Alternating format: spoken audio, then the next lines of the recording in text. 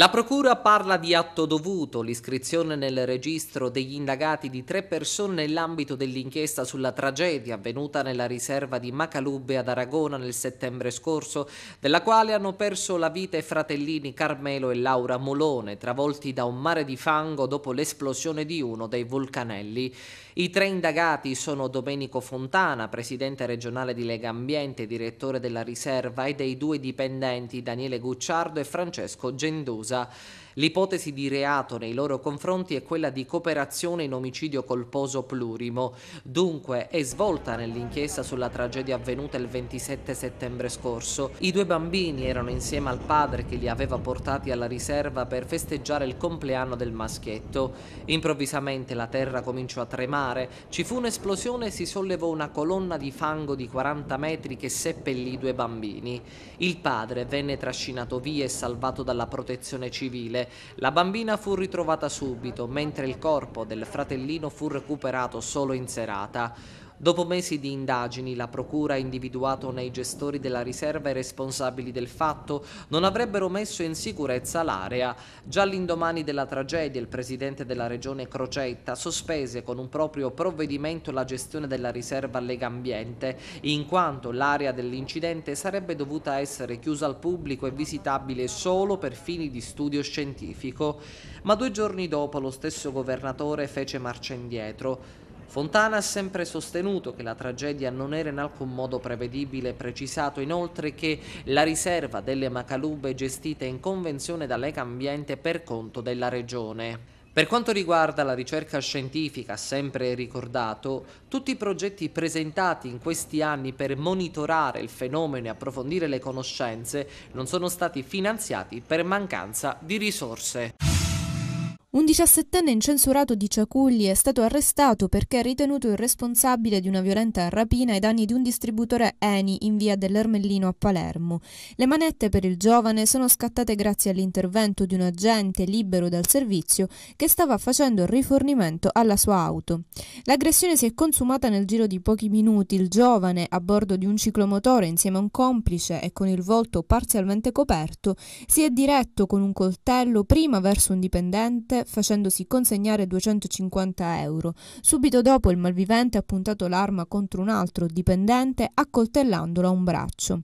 È a quel punto che l'agente è entrato in azione, riuscendo a liberare il dipendente dall'aggressore e immobilizzando quest'ultimo, disarmandolo e arrestandolo.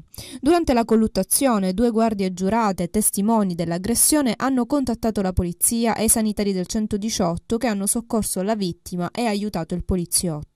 Il personale personale medico infatti ha prestato i primi soccorsi al dipendente e ha estratto dal braccio dell'uomo il coltello rimasto conficcato per parecchi secondi, segno tangibile della vile aggressione e della violenza. Il poliziotto, una volta arrestato il malvivente, ha recuperato il parziale bottino che senza il suo intervento sarebbe potuto essere molto più cospicuo. Migliaia di posti di lavoro a rischio. In Italia il comparto della TV locale rischia di sparire. Molte frequenze di trasmissione assegnate per vent'anni ora vengono tolte. Canoni per l'uso delle frequenze enormemente aumentati. Numeri sul telecomando ancora in discussione. Forti limitazioni alle attività trasmissive. Tutto ciò è inaccettabile. Le TV locali rischiano di spegnersi per sempre. Viene soppressa la libertà di informazione. Viene soppressa la libertà d'impresa viene soppressa la voce del territorio. Il governo deve decidere se vuole ancora le tv locali. Comunica. Codice 202 in atto su Palermo 98, mando in appoggio anche la lei. Global Security International, gli specialisti della vigilanza e della sicurezza. Personale altamente qualificato, pronto intervento, controlla attività commerciali con tecnologie innovative. Global Security International, servizi di scorta, radio e telecamere, telesoccorso 24 ore su 24, vigilanza notturna e diurna, vigilanza fissa, punzonature, trasporto valori. Global Security International, consorziato Sicurgem. Contattaci per la tua sicurezza. Siglato un accordo tra ANAS e Ordini degli Ingegneri della provincia di Palermo per ripristinare la continuità dell'autostrada 19 interrotta nei pressi di Scillato dallo scorso 10 aprile. La consulenza dell'ordine sarà a titolo gratuito e avrà come scopo la ricerca della soluzione di minore impatto possibile per la viabilità, nel rispetto dei criteri di sicurezza. Gli ingegneri parteciperanno a indagini, rilievi e monitoraggio con un proprio gruppo di lavoro. Il protocollo d'intesa si ispira al principio di leale collaborazione fra istituzioni e fa seguito alla lettera inviata qualche giorno fa alle autorità statali e regionali da Giovanni Margiotta, presidente dell'Ordine degli Ingegneri. Margiotta aveva chiesto di accertare con indagini tecniche le condizioni del viadotto non direttamente coinvolto nel dissesto, in modo da evitarne, se possibile, la demolizione. Dopo il sopralluogo informale congiunto del 24 maggio scorso si è stabilito di abbattere le quattro campate compromesse del viadotto Imera, di costruire il bypass provvisorio e di effettuare contestualmente le indagini tecniche tecniche per verificare le condizioni dei terreni e delle strutture del corrispondente viadotto della carreggiata Catania-Palermo, in funzione di un suo possibile utilizzo. L'accordo della durata di 12 mesi impegnerà ANAS e Ordine degli Ingegneri alla condivisione di dati e informazioni. Per Margiotta l'intento dell'ordine è quello di contribuire col patrimonio di competenze della categoria alla soluzione di un problema che sta gravemente danneggiando l'economia dell'isola. Nuova deviazione del traffico su Viale Regione Siciliana a causa dei lavori del tram ormai in via di completamento lungo la circonvallazione. Ad essere chiuso questa volta sarà un breve tratto della corsia laterale, poco più di 200 metri di carreggiata fra Corso Calatafimi e via Pagano. Ma i disagi e le deviazioni saranno in vigore solo fino a lunedì prossimo. La strada, compresa la corsia di ritorno sul ponte Calatafimi, verrà riaperta dopo il completamento della segnaletica orizzontale e verticale. Intanto, a otto anni dall'avvio dei lavori, si va verso il completamento delle linee 2 e 3 sulla circonvallazione. I binari sono già tutti poggiati lungo il percorso, così come il materiale necessario per la definizione delle opere è ormai in città da più di un mese. All'appello mancano solo pochi tratti per una rete tranviaria che complessivamente conterà 30 fermate lungo l'asse di Viale Regione Siciliana, via Leonardo da Vinci e via Notar Bartolo fino a Borgonuovo. Mentre sul fronte della linea 1, che collegherà stazione centrale con Roccella, sono in corso gli interventi di definizione della fermata in via Balsamo. Non solo chiusure e deviazioni, a partire da venerdì infatti sarà riaperta al traffico la bretella che permette il passaggio dalla via Bennici verso le vie Paternò e Buon Riposo. A darne conferma con una nota è lo stesso comune che fa tirare così un sospiro di sollievo ai residenti commercianti e automobilisti. La struttura, definita bimodale, è larga 30 metri e sarà composta da due carreggiate destinate ai veicoli e una corsia centrale per il tram. Considerato una delle giovani promesse della pop opera italiana, Salvo Randazzo è senza dubbio una delle voci più belle e straordinarie nel panorama musicale del nostro paese. Finalista Italia Got Talent, nel 2011 si è anche esibito negli Stati Uniti alla presenza del presidente Barack Obama. Domenica 7 giugno l'artista palermitano debutterà con uno spettacolo tutto suo al Teatro Massimo di Palermo. Ad accompagnarlo un'orchestra di 25 elementi diretta dal maestro Lidio Frolulli. Il cantante eseguirà brani tratti dal repertorio lirico-operistico e classici della musica napoletana che hanno fatto sognare intere generazioni. Il mio genere musicale è un genere che vuole rivolgersi a tutti. Quello che provo a fare nel migliore dei modi è trasmettere il mio messaggio emotivo a tutti coloro che graziosamente mi seguono e verranno ad ascoltarmi e, saranno presenti eh, il giorno del concerto. Eh, il repertorio spazierà da brani intramontabili della tradizione eh, sia napoletana, brani intramontabili internazionali, fino a, a, brani che fanno parte del repertorio lirico-operistico, quindi rivolto a, dire, ad orecchie più esigenti e ad orecchie che lo sono meno. E cercherò di farlo nel migliore dei modi. Per trasmettere emozioni e toccare il cuore di chi ascolta non basta avere una bella voce. Dunque, sul piano musicale, qual è il segreto di un grande interprete, ma soprattutto qual è il tuo segreto? Io non ho segreti, cerco solamente di dare voce ai miei sentimenti.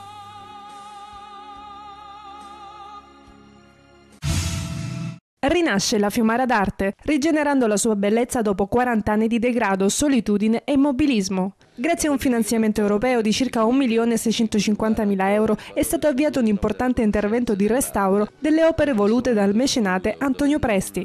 Si tratta del più grande restauro di una galleria d'arte contemporanea all'aperto, La Fiumara d'Arte, nata nell'86 lungo gli argini del fiume Tusa, era da anni in uno stato di abbandono. Sette delle otto installazioni firmate da alcuni tra i più grandi artisti del Novecento giacevano rovinate, consunte dal sole, la maggior parte in cemento armato, ormai corrotto dal suo interno. La finestra sul mare di Tano Festa, l'opera più nota e visibile, ma soltanto terza per anzianità, dopo la materia non poteva non esserci, di Pietro Consagra e una curva gettata alle spalle del tempo di Paolo Schiavacampo era tra le più rovinate e da questa è partito il piano di restauro di un museo all'aria aperta, mai realizzato. Dopo una lunga storia paradossale di sequestri e procedimenti giudiziari durati 25 anni, soltanto nel 2006 una legge della regione siciliana ha riconosciuto quel parco di Fiumara d'Arte che oggi sta rinascendo piano piano. Il progetto di restauro dovrà essere concluso in autunno, ma già da questi mesi sono più che visibili gli interventi che stanno riportando alla luce le sculture, consolidate, restaurate e ripristinate nelle parti mancanti. Alla gara hanno partecipato 113 imprese. Ad aggiudicarsi i lavori è stata la Recoge SRL di Paternò, Catania. Non verrà restaurata la camera ipogea. L'autore, redigendo il suo testamento, ha voluto chiudere per 100 anni per poterla consegnare integra alle generazioni future. San Marco d'Alunzio, il piccolo borgo aluntino tra i più belli d'Italia, ha ripercorso il suo antico splendore attraverso l'ottava edizione della giornata medievale. Dame, cavalieri, mercatini, arcieri, musici, sbandieratori, giocolieri, frisoni, fakiri si sono susseguiti per tutta la giornata in modo da far rivivere gli usi e costumi della società e della cultura medievale in uno dei comuni siciliani simbolo del periodo. La giornata medievale è diventata ormai un appuntamento fisso nel calendario delle manifestazioni del comune di San Marco d'Alunzio, che ogni anno riesce ad attirare nel borgo migliaia di visitatori provenienti da tutta la Sicilia. Sin dal mattino l'intero centro storico si è trasformato, richiedendo l'antica atmosfera medievale con il mercatino, tanti giochi per bambini, il campo degli arcieri ed il sobborgo degli antichi mestieri artigiani. Il tutto incorniciato tra spettacoli, musici, giocolieri, cavalli e cavalieri. Nel pomeriggio l'attenzione è stata tutta per la fantastica rievocazione storica, a cui hanno preso parte le più affascinanti delegazioni dei cortei storici della Sicilia. La parata si è conclusa in Piazza Castello, dove all'arrivo delle dame e dei cavalieri si sono svolti gli spettacoli con gli sbandieratori, il fakiro, il mangiafuoco, tamburi e bandiere infuocate.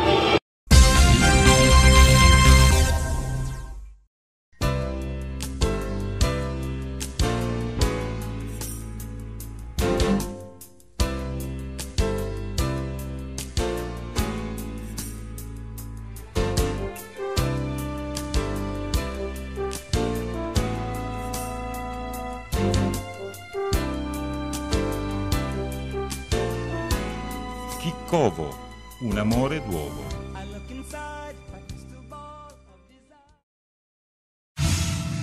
Il Catania è protagonista di quattro partite sospette di combina. Denunciare il club siciliano e il rapporto 2015 di Federbet, Federazione Europea di contrasto al match fixing, presentato proprio oggi al Parlamento dell'Unione Europea di Bruxelles. I quattro match sospetti degli Etnei sono quelli del 16 novembre 2014 contro il Trapani, del 24 aprile con la Ternana, dell'11 aprile ancora con il Trapani e del 6 16 maggio con il Cittadella. Tutte partite sulle quali Federbet ha registrato dei flussi anomali di scommesse, in particolare sui risultati del primo tempo e finali e l'over, il numero minimo di gol. A febbraio Federbet, ha detto il segretario generale Francesco Baranca, ha denunciato alla polizia di Busto Arsizio diverse partite di Lega Pro. La settimana prossima denunceremo agli inquirenti anche le partite del Catania. I numeri parlano chiaro e ci dicono che ci sono stati dei tentativi di combin. È facile individuare questi casi, ma le istituzioni sportive sono passive, per questo abbiamo deciso di passare a denunciare i fatti alla polizia. Dai microfoni della politica nel pallone il presidente del Palermo Maurizio Zamperini torna sulla cessione di Paolo Di Balla alla Juventus. Avevo ricevuto le offerte di Inter, Milan e Juve in Italia e altre un po' più guardinghe dall'estero, ma il giocatore ha scelto la squadra più forte del momento che fa la Champions League che gli permetterà di avere una visibilità ancora maggiore e il nuovo Messi, la Juve lo ha pagato 32 milioni di euro più i bonus che arriveranno e li troverà giocatori che parlano la sua stessa lingua. È stato un affare per entrambi, ho sistemato il bilancio e Marotta che sa che per ottenere certi risultati ha bisogno dei migliori giocatori al mondo, sta provvedendo con intelligenza. Mercato, il Palermo ci riprova per Caglieri. Intervistato da Solo Boca Radio, il dirigente del Boca Juniors, Carlos Agas, ammette l'interesse del Palermo per Jonathan Caglieri. Sì, spiega nelle parole riportate da Stadio News, è arrivata un'offerta dal Palermo per Caglieri. Lo stiamo analizzando e continueremo a farlo. Vedremo come finirà questa trattativa.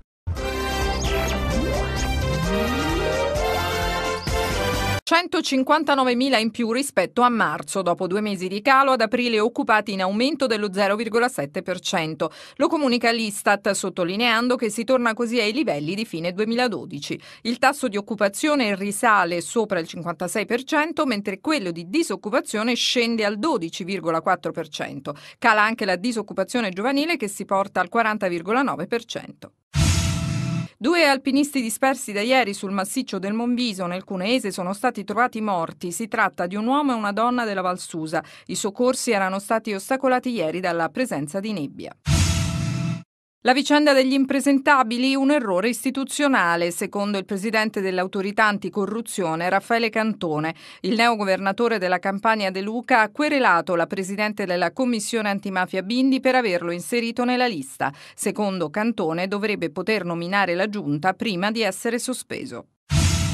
Sanguinoso attacco di Boko Haram in Nigeria. Per la terza volta in tre giorni è stato colpito il mercato di Maiduguri, importante città del nord-est dove il presidente Buhari ha intenzione di organizzare il quartier generale dell'esercito in lotta con gli integralisti. Un kamikaze si è fatto saltare in aria uccidendo almeno 50 persone.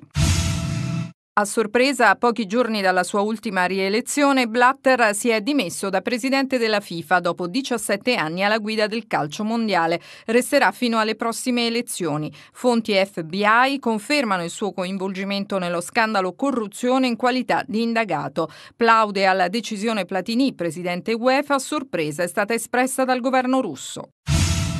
Roger Federer esce dal Roland Garros. Il campione svizzero è stato battuto dal connazionale Vavrinka che affronterà in semifinale Tsonga, vincitore del match con il giapponese Nishikori. In campo femminile definita la prima semifinale tra la Safarova e la Ivanovic. La seconda uscirà dai match di oggi. In campo anche Sara Errani contro la numero uno al mondo Serena Williams.